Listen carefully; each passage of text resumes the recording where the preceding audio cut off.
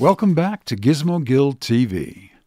Today, we're going to use these copper-clad grounding rods to provide a proper ground for the workshop. This is something I've been wanting to do for quite a while, but a recent equipment purchase has made it sort of urgent.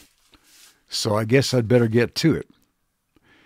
And right here in this bag, we have a secret weapon that's going to tell us exactly whether we have a good ground or not.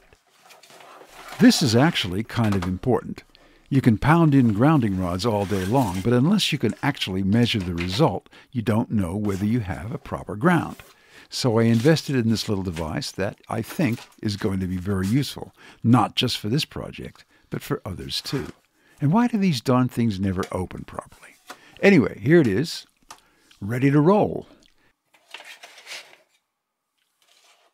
Now we just need to go outside, grab our shovel, and do some digging. So here goes hole number one. It doesn't need to be too deep, just deep enough that the rod can be completely covered. Luckily for me, I have a pretty good layer of soil to work with. No humongous rocks or anything that could derail the project. Just pound and pound and pound until that thing gets down there where it needs to be. And as a pair of gloves magically appears on my hands, I'm almost done with this rod.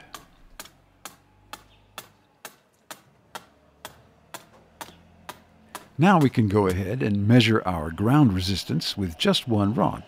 First a battery check, that's good. The black lead goes to the ground rod we just installed in the ground. The yellow lead goes to the first of two auxiliary ground rods that are used only for the measurement. The red lead goes to the second auxiliary ground rod. The auxiliary ground rods need to be placed in the ground in a straight line at a spacing of about 5 to 10 meters apart. In my garden, I can space them about 6 meters apart, so that's what I'm doing.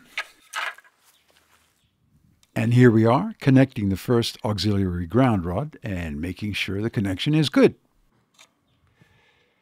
Now we'll do the same thing for the second auxiliary ground rod, which will be placed a total of 12 meters away from our main ground rod, the one we're trying to measure, which puts it another 6 meters away from the first auxiliary ground rod, all in a straight line.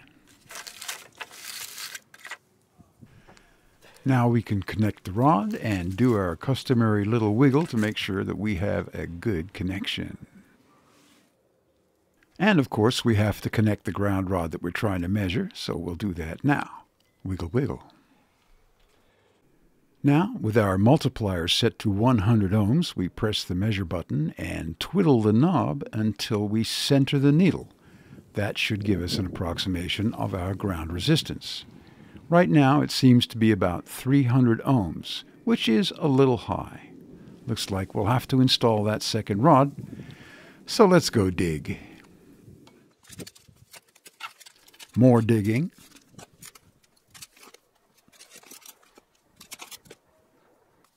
And more pounding. And now we can connect the two rods together and make another measurement. They're not connected here yet, but I'll do that before I go over to the meter. Moment of truth. Press the button, twiddle the knob, and very nice. With two rods, the ground resistance is now about half what it was with just one rod, which I guess is to be expected. Not too bad, and it will do for now.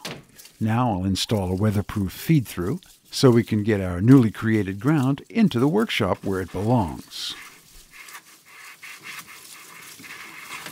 And there it is. So let's get in out of the cold.